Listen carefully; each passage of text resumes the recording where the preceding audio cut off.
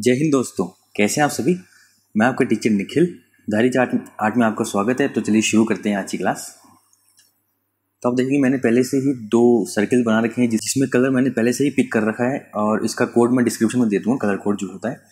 अब इसका बैकग्राउंड बनाते हैं अपन। बैकग्राउंड के लिए रेक्टेंगल टूल ले लेना है, और बैकग्राउंड को बस आपको ड्रैग करना है सिंपली इसके ऊपर, जो आर्ट बोर्ड आपका, और ये बैकग्राउंड बन जाएगा। बैकग्राउंड मैंने वही कलर कर लिया है, जो ऊपर वाले में कलर था, ठीक है? और कंट्रोल प्लस टू दबा के इसको लॉक कर देंगे तो लॉक हो जाएगा। आप देख सकते हैं, बिल्कुल मूव नहीं कर रहा है, ठीक है? अब आपको इसमें टाइप टूल लेना है। टाइप टूल के लिए आपको पता है, यहाँ साइड में दे रखा है टाइप टूल ये वाला। अब जैसे आप इस पर क्लिक करते हैं तो ये पूछेगा आपको क्या टाइप करना है और आप स्क्रीन के ऊपर क्लिक करके इस पर जो भी इच्छा है आपकी, वो आप टाइप कर सकते हैं। मैं अभी सिर्फ़ सिंगल लेटर के ऊपर आपको टाइप करके बता रहा हूँ। इसकी थोड़ी साइज़ बड़ी कर लेता हूँ। ठीक है, ये मैंने डी लिख दिया है और मैं सिर्फ़ सिंगल लेटर यूज़ करूँगा। बाकी आगे का आप खुद समझ जाएँगे और कर सकते हैं। इसको कन्वर्ट कर लेना आउटलाइन में, जैसे ही मैंने अभी किया। ये अपनी आउटलाइन में कन्वर्ट हो चुका है। अब ये टेक्स्ट नहीं है, इसको चेंज नहीं होगा। ये एक तरह का ऑब्जेक्ट बन चुका है। अब अपन को वापस रेक्टेंगल टूल लेना है। और एक रेक्टेंगल बनाना है। सिर्फ़ एग्ज़ाम्पल के लिए रेक्टेंगल बना रहे हैं अपन।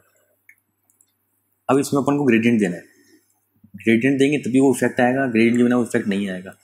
अब सिंपल है, आपको ग्रेडिंग कैसे देना है, वो दोनों जो कलर थे, जो भी अपन ने ले रखे हैं साइड में, इन दोनों कलर को ही पिक करके इसके अंदर डालना है। ये मैंने कलर पिक कर रखा है, ये वाला, और सेकंड वाला जो है, इसके अंदर मैं ये वाला कलर पिक कर लेता हूँ। कलर पिक कर लिया मैंने, ठीक है? अब इसको जैसे आप इसके ऊपर ड्रैग करके रखेंगे तो आप देखेंगे वो थोड़ा सा लग रहा है, जैसे शेड फेड हो रहा हो। थोड़ा सा लग रहा है इनविजिबल गायब से हो रहा हो, क्योंकि वो इस कलर से मैच हो रहा है इसलिए।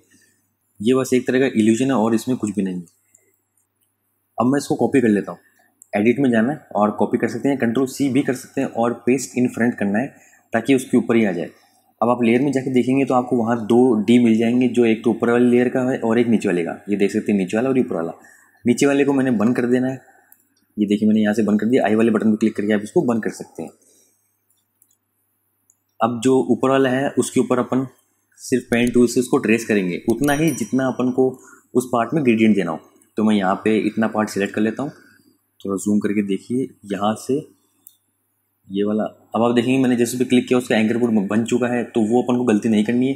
पहले साइड में क्लिक करना है, उसके बाद उस पर क्लिक करना है। अब एंकर पॉइंट आप देखिए, वो जो उसके पॉइंट से वो उससे मैच नहीं हुए। तो अपन आगे इसको कर सकते हैं। आप जितनी मर्ज़ी उसको इतनी दूर ले जाइए, कोई दिक्कत नहीं क्योंकि अपन को इसको बाद में डिलीट ही करना है। तो ये इसका मैंने पॉइंट जोड़ दिया है। अब ये एक तरह की शेप बन गई है। अब सिंपली अपन इन दोनों को पाथ फाइंडर से डिलीट करेंगे। अब इन दोनों को सिलेक्ट करना है आपको। दोनों को एक साथ जो डी है और जो शेप अपन ने बनाई है पेन टूल से, उन दोनों को सिलेक्ट करना है। सिलेक्ट आप मूव टूल से सिलेक्ट कर लेना और फिर विंडोज़ में जाएँगे और आप नीचे देखेंगे पाथ फाइंडर आपको यहाँ मिल जाएगा। ये यहाँ पाथ फाइंडर दे रखा है। पाथ फाइंडर सेलेक्ट करना है और इसके अंदर जो ऑप्शन दे रखा है, ये थर्ड वाला जो ऑप्शन है अपना इंटरसेक्ट का, अपन को इसको इंटरसेक्ट करना है। तो इंटरसेक्ट करेंगे, जो बचाओ जो पार्ट है, वो डिलीट हो जाएगा। बीच वाला पार्ट जो वो रह जाएगा। तो ये बीच वाला पार्ट रह गया, बाकी साइड का पार्ट डिलीट हो चुका है। यही अपन को चाहिए था और ये अपन को मिल गया। अब इसके ऊपर अपन ग्रेडियंट को यूज़ करेंगे कैसे? सिंपली आई ड्रॉपर से ग्रेडियंट को सिलेक्ट करना है, जैसे मैंने किया और वो सिलेक्ट हो चुका है, ठीक है? अब वो वाला जो डी अपन ने हाइड कर रखा था, उसको वापस एक बार ऑन कर देता हूँ। ताकि आपको पूरा शो हो जाए। अब आप देखेंगे, लेकिन वो वाला इफ़ेक्ट जो थंबनेल में आपने देखा, वो नहीं आ रहा है। तो वो कैसे आएगा? सिंपली जो पुराना वाला डी है उसको ये वाला कलर करना है, जो मैंने अभी सिलेक्ट किया है, जो लाइट कलर है, वो वाला। और ग्रेडियंट की जो थोड़ी सी एंगल जो है ग्रेडियंट का एंगल उसको अपन चेंज कर देंगे। तो ऐसा लगेगा, ऊपर से निकल के नीचे गायब हो रहा थोड़ा थोड़ा इफ़ेक्ट वो धीरे धीरे आने लगेगा। आप देखेंगे वो वो वाला इफ़ेक्ट आ रहा है जो मैंने थंबनेल में दिखाया आपको।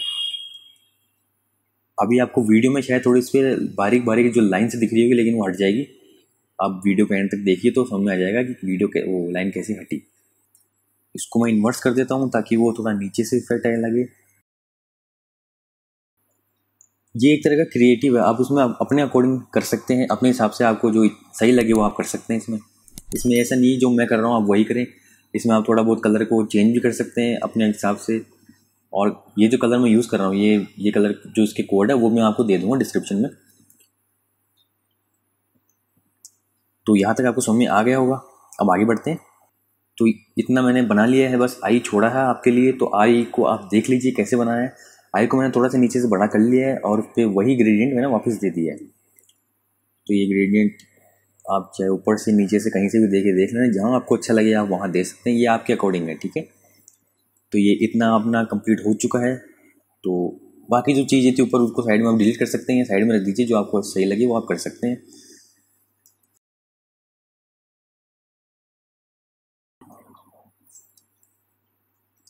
तो ये अपना कम, बन के कंप्लीट हो चुका है। अब आपको कुछ करना नहीं है इसमें, बस ये डिज़ाइन आपको अपने हिसाब से बाद में आप खुद इसको चेंज कर सकते हैं। ये मैं ये नहीं कह रहा जिस पॉइंट से मैंने लिया, उस पॉइंट से आप शुरू करिए। वीडियो देखने के लिए थैंक यू फ्रेंड्स वीडियो अच्छी लगी तो लाइक करें और कमेंट करके मुझे बताएँ इसमें क्या अच्छा लगा और कुछ समझ में नहीं आता है। तो भी कमेंट कर सकते हैं आप और लाइक तो करना ही है, क्योंकि मेहनत बहुत की है मैंने। और thank you friends seven H day keep learning keep doing